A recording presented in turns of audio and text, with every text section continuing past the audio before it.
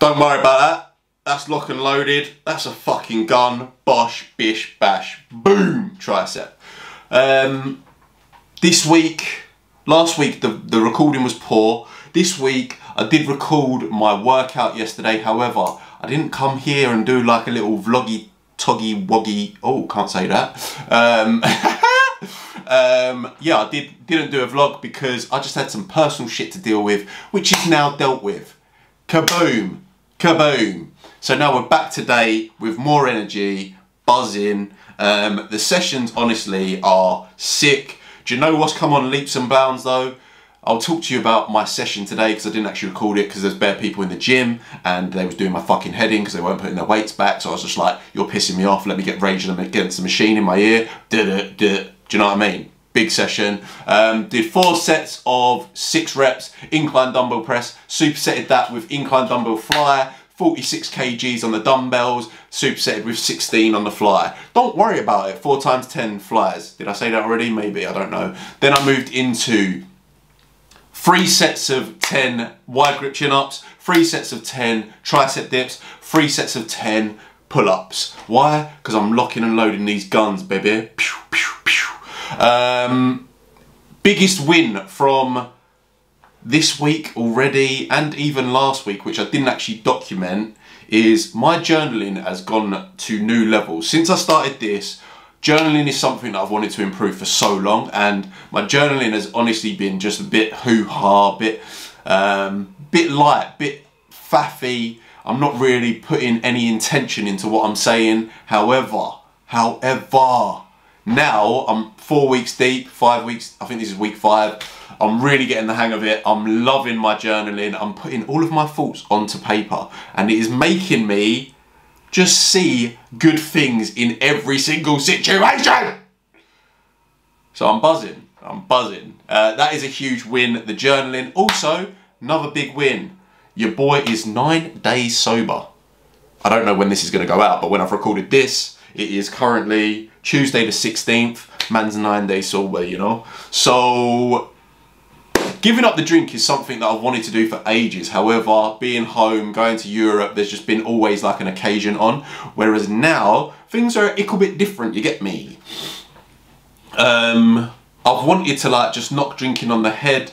It doesn't really make me feel great when I get pissed. Or getting pissed doesn't really warrant the hangover. Having said that, my mate's having a housewarming party not this weekend, next weekend, which I will be getting absolutely bladdered at because I've made the decision that that will be my final weekend in the UK. Whether that means I'm going to Aussie Wazzy or I am going to be going to Bali, maybe even Spain, maybe even Spain. But one of those free, option, free options, come September, your boy is on the move because I am not built, I'm not a tree. I'm not a fucking tree and I'm built to fucking move. So that's exactly what I'm going to do. I'm going to leave that for today. Um, obviously give you the workout details. Sorry I didn't record it. I know you deserve better. I will do better. Much love. Catch you. I'm going to say catch you in the next one. But what I've actually realised I need to do is say and tomorrow. And then obviously you'll either get food or a little vlog or a little workout experience. I don't know how what the best way to structure it is. I'm learning as I go, but something that you can take from that is I'm doing. And you might think, what the fuck is this geezer going on about? But in my head, I'm doing. So I'm going to work out the best way to do it whilst I'm doing it. Um, and that's that. Anyway, much love. I don't know why I'm saying that because you're literally going to see me in the next clip. So whatever that is going to be, I hope that's the right way on the screen. Or maybe... Today I did something that I've not done since this transformation started. I skipped a workout and I want to talk about it because you feel like you need to be go, go, go all the time, but that is not the truth. And when I say I skipped a workout, not because it just wasn't possible for me to go to the gym, I chose to stay in bed rather than to train. And the reason for that is because my body was telling me I don't feel rested enough and going to the gym today is not going to be beneficial. It's only going to make me feel worse in the long run. So there's this mentality that it's like, no pain, no gain, push yourself through every single session, every session counts, whatever. But there's also an element you need to listen to your body. So I had a couple of shit, shit nights sleep, that caught up with me. So today I was like, do you know what? I'm going to skip one session today. Tomorrow I will mix my workout workouts together. So I'll do a full body session tomorrow and then I'll be revitalized and ready to go again. I think is so important. Like what I want to teach you throughout this transformation is you've got to really realize that this is not an all or nothing thing. And if you think and put too much pressure on yourself to be perfect throughout the process, you will quit because pressure and stress will, it makes people quit. So do not do that. Just understand, sometimes it's good to listen to your body.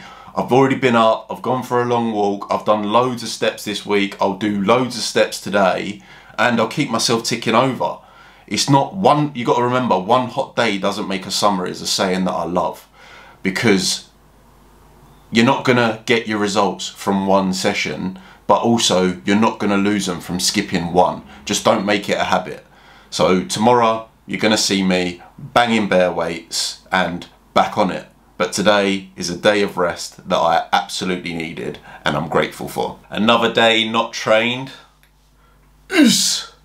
yeah. Um, so, last couple of days I didn't gym yesterday, had a bit of a health scare, so I decided not to train, and it was actually due to stress and anxiety, actually. So, uh, went to the doctors, and they just said, yeah, this is the reasons why. So, really, really weird, but whatever. Then today, uh, also couldn't get up and train. My sleep was interrupted because of some life stress that I'm going through at the minute. It honestly isn't that deep, but I think it's important for me to be honest on these vlogs because if I'm not, then you're not going to really get the full picture and why sometimes you can beat yourself up for not training and today I'm really not. I've made sure that I got my loads of steps in today um, but I think that it's important. If you do go through a life stress then you can sort of lose your head in the sense of falling out of your routine a little bit. But it's important also to for your mental health to process these things. So not to expect too much of your, yourself. Like if you are going through things that life do throw at you sometimes, it's important just take a step back and deal with it and then recharge. So yeah, this week I've only trained twice. I wasn't really too happy with my sessions. Um, and that was mainly because the gym was busy and obviously I've had a lot of things going on in my head. But two times is better than no times and I'm doing everything outside of the gym to make sure that I am still burning calories, still eating um, well. So there isn't a lot of stress in that sense in terms of the transformation. I know my normal self, my normal habits is training four times a week. So that's how it will continue from next week. But I just needed a couple of days. One was a health issue, and then obviously today I just needed to process something. So yeah, that's my final day of the week that I would actually train, whereas next week I'll be straight back on it. Um, and it's going to give me, what is it? It's Thursday today, so it will give me Friday, Saturday, Sunday. So it'll be five days not trained. So then I'm already excited for the gym on Monday. Do you know what I mean? So with things that happen in your life, don't get hung up that if you go off track for a few days or whatever, you're a human being. And that's important to remember. So come Monday, I'll just be back to my usual self and absolutely smashing it.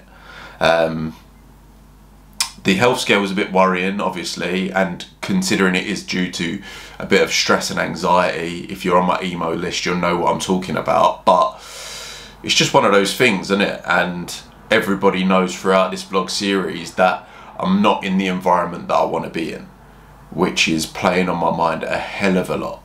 However, I'm also just sat here accepting it. but things are going to change soon. I know that, and you're going to see a whole new side of me. I promise you that now.